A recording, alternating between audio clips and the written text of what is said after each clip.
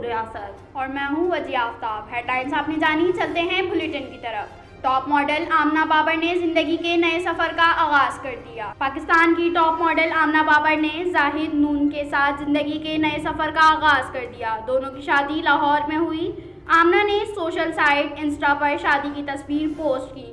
खुशो खुर्रम नज़र आती। आमना ने लिखा कि प्यार कह कहे और हमेशा के लिए खुशो खुर्रम। रिवायती मलबूसात से हटकर आमना ने शादी के मौके पर कदरे सादा अंदाज अपनाते हुए सफ़ेद लिबास पर सब्ज दुपट्टा लिया, जिसमें वो खूब जच रही हैं।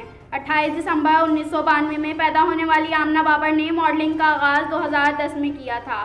साल 2014 में तेरहवीं लक्स स्टाइल अवार्ड के मौके पर बेहतरीन उभरते हुए टैलेंट का अवार्ड हासिल किया। इसके अलावा चौदहवीं लक्स स्टाइल अवार्ड में आमना को बेहतरीन मॉडल की कैटेगरी में नामजद किया गया था।